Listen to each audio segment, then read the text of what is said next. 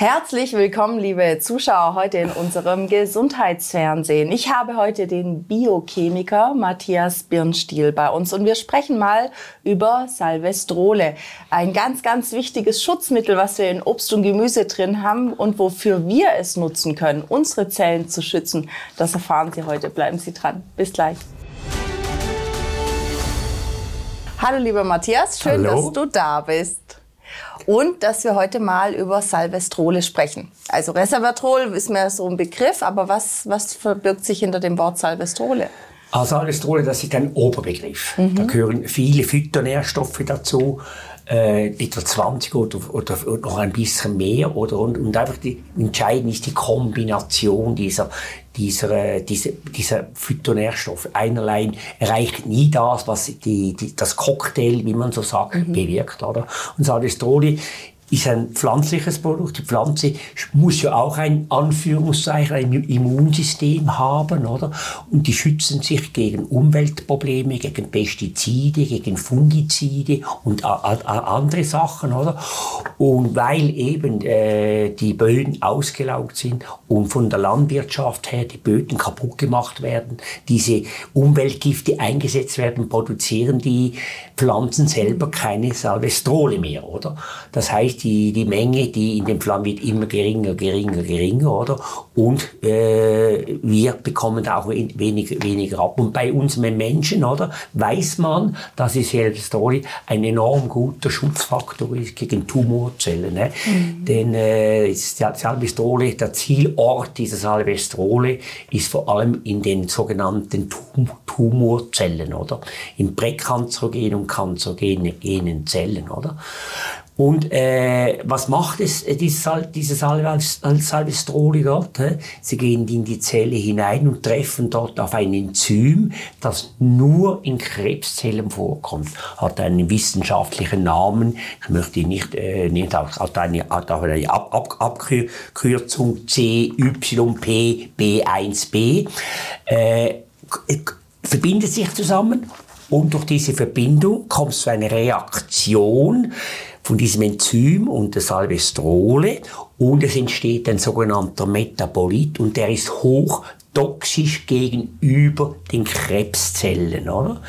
Das heißt, die Krebszelle wird dadurch abgetötet in Form einer sogenannten Apoptose. Apoptose mhm. ist eine, eine, eine Niedergang der Zelle ohne ohne Folgen, ohne Entzündungsmechanismen und so weiter und so weiter, oder?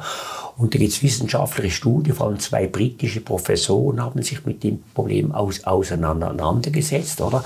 Dass Salvistrol also ein, ein wirksamer Mittel gegen Krebs oder als Vorsorge gegen Krebs, alle Arten Krebs eben äh, eingesetzt werden könnte, oder?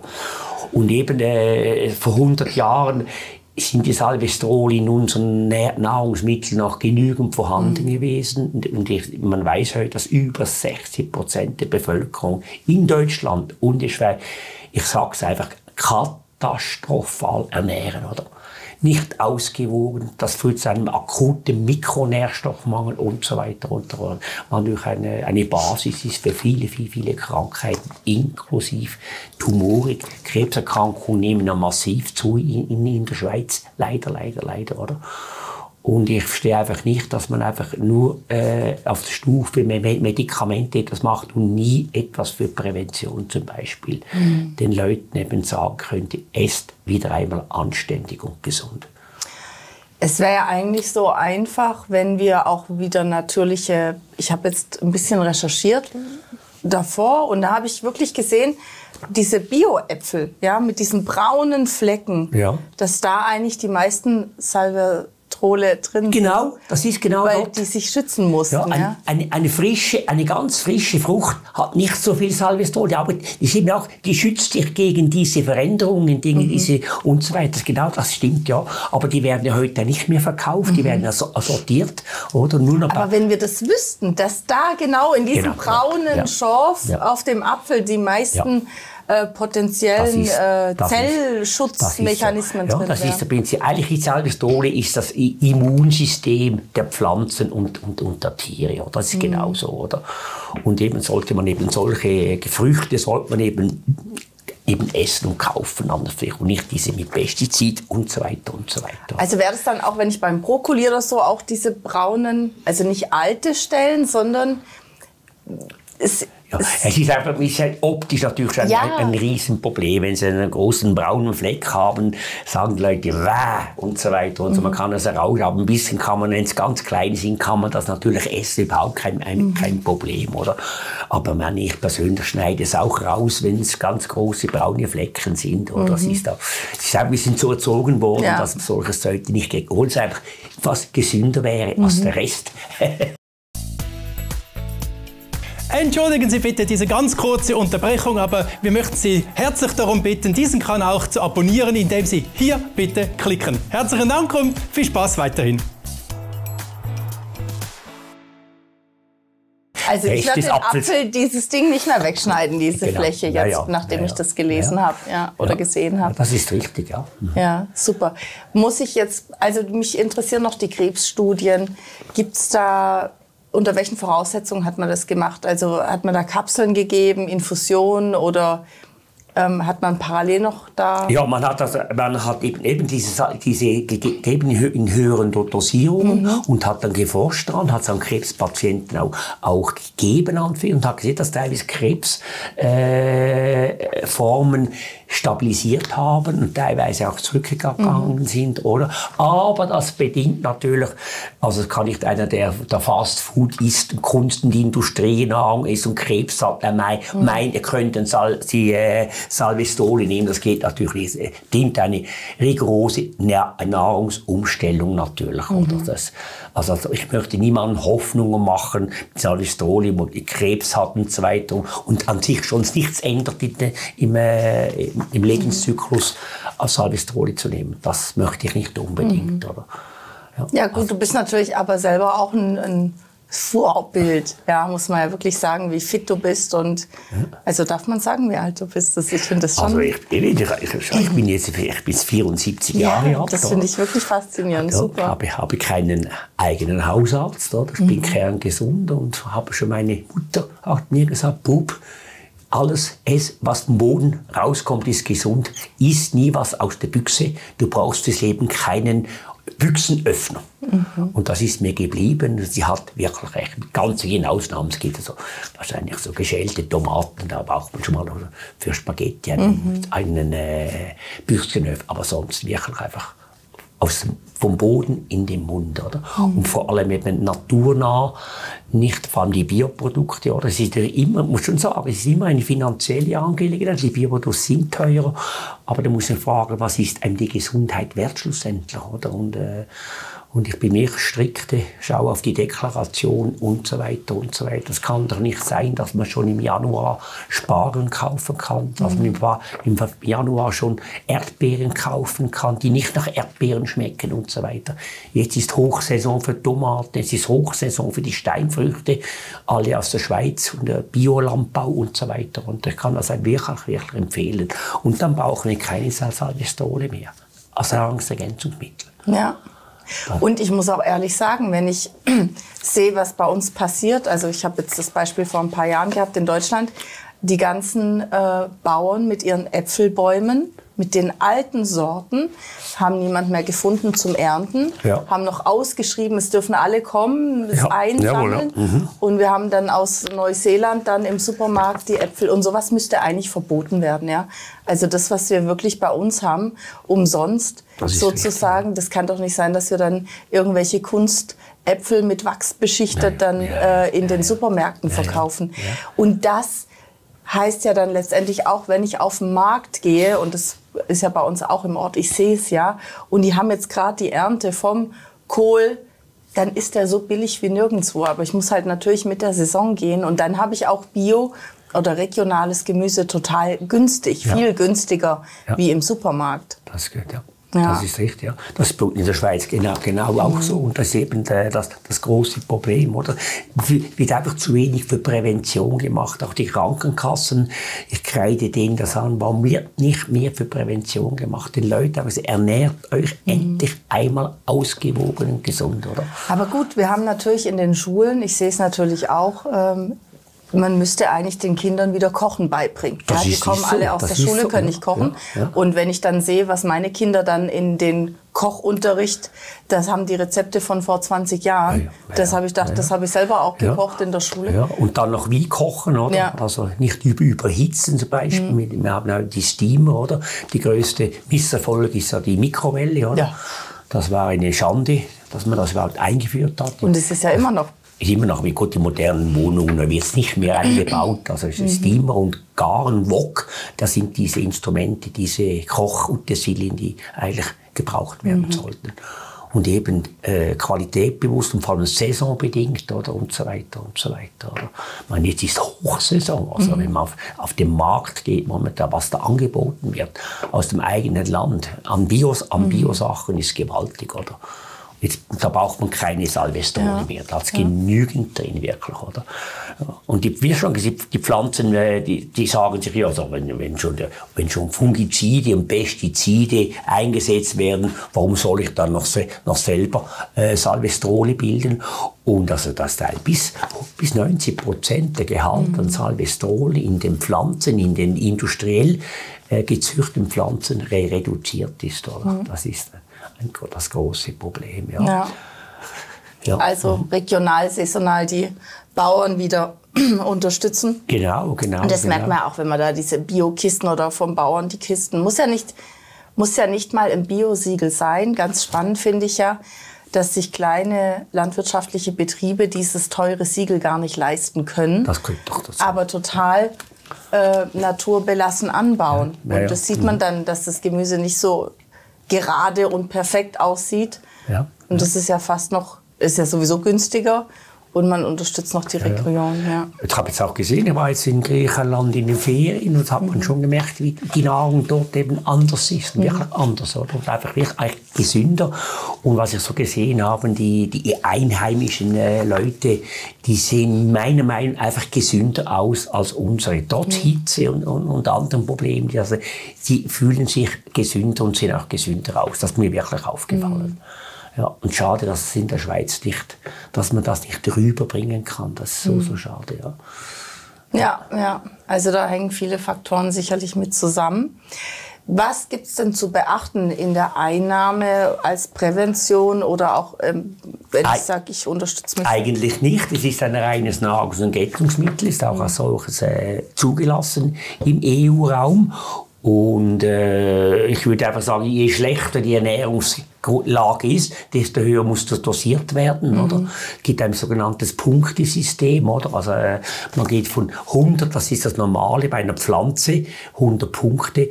Und bei, äh, bei Leuten mit, mit Krebsverdacht oder anderen ge gesundheitlichen Problemen kann man bis 2000 äh, Punkte gehen, eine höhere Dosierung und so weiter.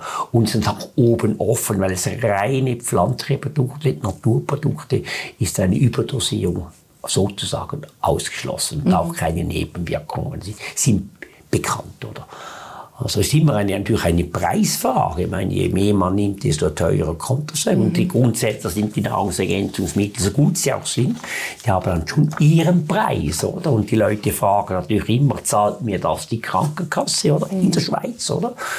Und je nach äh, Versicherung oder Zusatzversicherung in der Schweiz wird das eventuell bezahlt oder nicht, oder? Und wenn Sie zwei Produkte haben, ein Chemieprodukt oder ein Naturprodukt und das Chemieprodukt wird von der Krankenkasse bezahlt, da überlegen sich die Leute nicht lange, nehmen Sie das, das Medikament, das von der Krankenkasse bezahlt wird, oder? Das die überlegen sich leider, leider eben gar nichts und das ist wirklich sehr, sehr schade, oder?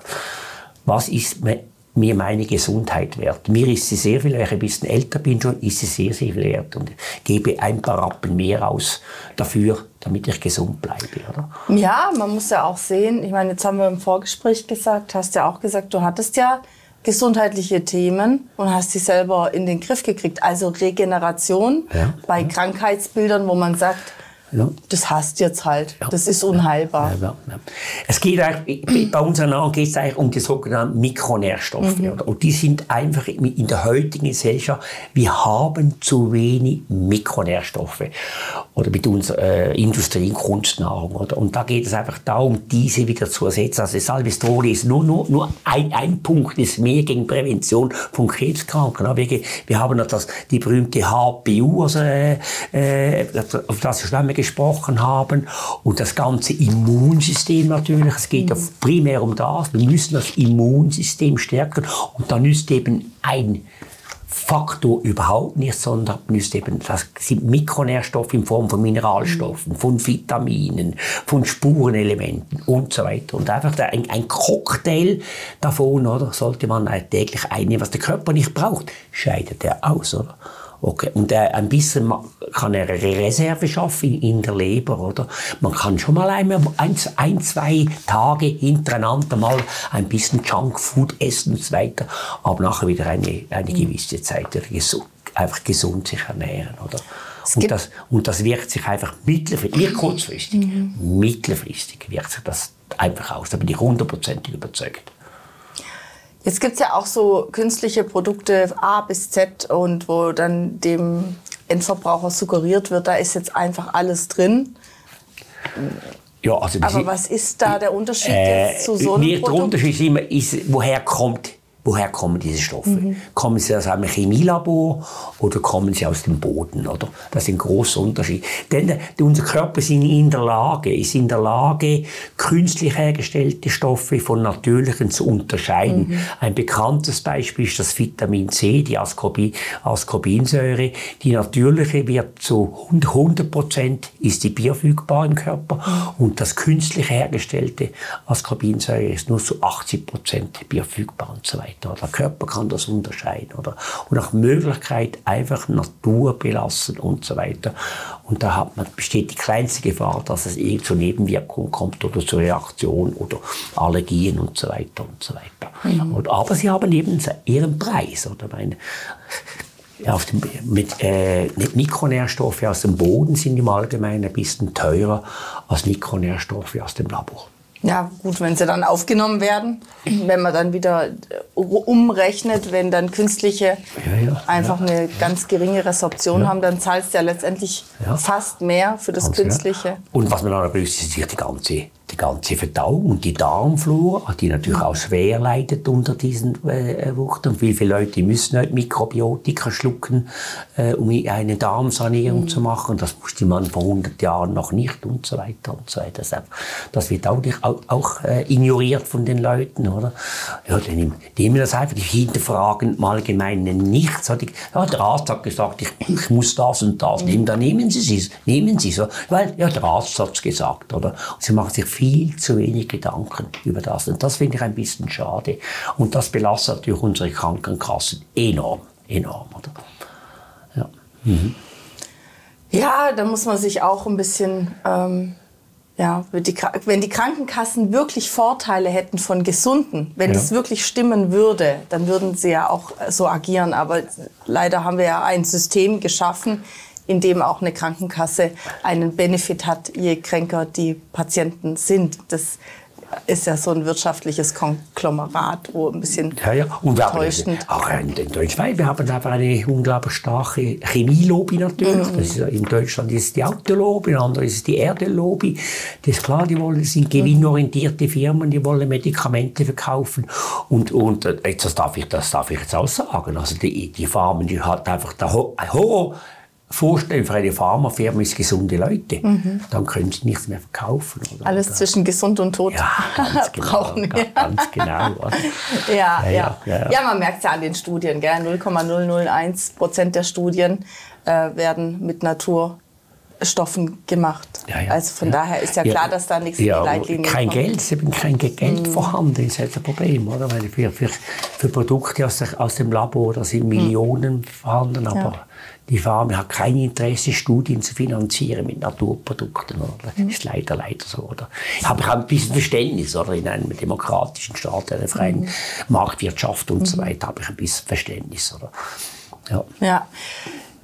Dieses Salvestrol, inwieweit hat das eine Verbindung zu Resveratrol oder was gibt es da noch für Trole? Was bedeutet das überhaupt? Ja, also, das ist ein Salvare, das ist, äh, heißt Wohlbefinden und, und, und das Wort äh, Strole kommt von Resveratrol, oder? Das ist eben eines davon. Also es gibt, mhm. sind da sehr viele Stoffe sind, sind, sind, sind dabei und das ist einfach der Oberbegriff, oder? Da gehören also Stilbene dazu, da gehören äh, die äh, Flavinoide dazu und so weiter ganz, eine ganze Palette von, von Stoffen dazu. Oder? Und erst einfach in der Summe sind sie stark, oder? Mhm. Darum hat das, Resvat, äh, das Resveratrol alleine hat nie, nie die Wirkung wie, wie, die, wie, der, wie der ganze Komplex. Oder? Das gilt für sehr viele Nahrungsergänzungsmittel, oder? Der Körper, der will nicht einfach einzeln punktierte äh, Gaben, sondern will ein Cocktail. Denn äh, es, es, äh, Sie, Sie müssen, müssen, müssen mal vorstellen, in einer einzelnen Zelle, einzelnen Zelle des Körpers, mhm. wir haben 100 Billionen, da laufen pro, pro, Sekunde Tausende von Reaktionen ab pro Sekunde. Oder? Und für jede Reaktion braucht es einen, einen Mikronährstoff, mhm. oder für die meisten in Form von Mineralstoffen, in Form von, äh, von Aminosäuren und so weiter und so weiter. Und der Körper braucht das. Und da muss er eine Zelle schwimmen in einem Bouillon. Er kann sich vorstellen, eine Zelle schwimmt in einem Bouillon. In diesem Bouillon sind alle Zutaten drin, die die Zelle je braucht. Er kann jetzt abrufen, das brauche ich, das brauche ich, das brauche ich, das brauche ich, das brauche ich, das brauche ich, oder? Und wenn nur eines fehlt davon, meistens der Energiestoffwechsel äh, ist dann handicapiert. Dort sind die meisten Mikronährstoffe mhm. braucht es im, im, Energiestoffwechsel. Oder? Darum sind viele Leute heute schlapp, sind müde, konzentrationsunfähig und so weiter und so weiter. Und müssen diese Bouillon immer wieder nachschütten, nachschütten mit Mikronährstoffen und, und so weiter. Oder? Das kann man teilweise mit, mit der Ernährung machen, aber auch unsere Bioprodukte, das darf ich auch noch sagen, sind eben nicht mehr Bioprodukte wie von 100 Jahren, sondern die werden gezüchtet auf Böden, die vorher konventionell, konventionell bearbeitet worden sind und die haben also nicht mehr diesen Gehalt an Salvestrole, die Bioprodukte heute, die wir sagen, mhm. würde meinen, oder, weil es eben äh, ausgelaugt sind die Böden mhm. und so weiter, kann man eben dann Nahrungsergänzungsmittel ein bisschen nachhelfen. Mhm. Wenn der Zuschauer sich jetzt da ein bisschen reinlesen möchte, es gibt ja unglaublich viele Anbieter, aber dass man sagt, okay, wo finde ich wirklich Qualität oder kann mich so ein bisschen mal informieren? Ja, also, äh, also wenn Sie, wenn Sie ins Internet gehen, finden Sie einige Produkte. Mich interessiert immer mal die zu, was ist drin und woher stammt es. Das ist ganz, ganz, ganz wichtig, wer der Hersteller ist und so. Das mache ich grundsätzlich immer, oder? Und äh, es gibt auch synthetische Produkte und so weiter und so weiter. Und die Firma Quintessenz und die Firma Crisana, die die Quintessenzprodukte in der Schweiz vertreibt, da kann ich das die Hand mhm. ins Feuer legen, dass diese Produkte wirklich eine gesunde Basis haben und so weiter. Mhm. Von Algen oder von anderen Pflanzen im, bi im biologischen Umfeld aufgezüchtet äh, worden mhm. herkommen. Ja. Ja. Was nimmst du denn eigentlich, damit du so fit bist, so als kleiner Tipp noch für die Zuschauer, so ein Insider? Also, liebe, liebe, Zuschauer, also mein Geheimrezept ist einfach mich gesund ernähren. Ich koche mhm. selber, gehe selten in ein Restaurant essen mhm. und wenn ich ein Restaurant esse, dann will ich wissen, wo das Material mhm. herkommt. Oder weiß auch nicht, ob sie immer ehr, ehrlich sind, oder? Und da fallen mal viele, viele Restaurants äh, fallen da durch die Masche. Und das geht ein, zwei Mal im Monat und sonst wird selber gekocht. Oder ich mhm. bin äh, äh, Hobbykoch, Prinzip, mhm. ja. Ich koche sehr, sehr gern, aber immer mit Markt, äh, mit marktüblichen äh, Zutaten mhm. und so mhm. weiter. Momentan haben wir ein Schlaraffenland diesbezüglich. Mhm. Man kann ja alles kochen heute und so weiter und so mhm. weiter. Und dann, äh, weil mir be bewusst ist, dass gewisse Mikronährstoffe fehlen, zum Beispiel Zink oder mhm. Magnesium und Bohr und so weiter, nehme ich zusätzlich noch Nahrungsergänzungsmittel, mhm. nehme ich noch ein, oder? Und das ist einer der Gründe wahrscheinlich, weil ich das jetzt schon jahrelang mache, dass ich, ich darf sagen, ich bin kerngesund. Mhm. Schön.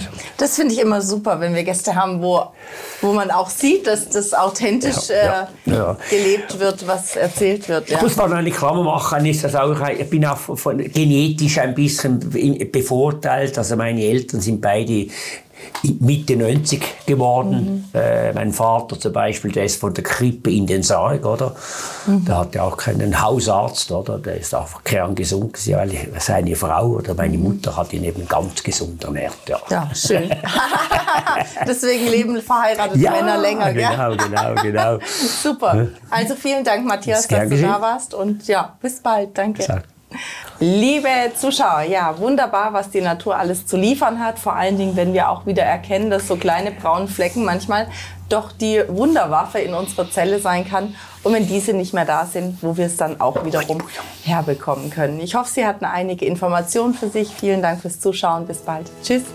Danke fürs Schauen vom Schweizer Gesundheitsfernsehen QS24. Bitte vergessen Sie nicht, hier oben den Kanal auch zu abonnieren, denn hier können Sie alle Sendungen auch werbefrei anschauen, aber auch unseren YouTube-Kanal zu abonnieren. Das dient uns nämlich auch sehr. Hier eine Auswahl für Sie zusammengestellt an Sendungen, die Sie sicher auch interessieren könnte. Alles Gute, bis ein anderes Mal und auf Wiedersehen miteinander.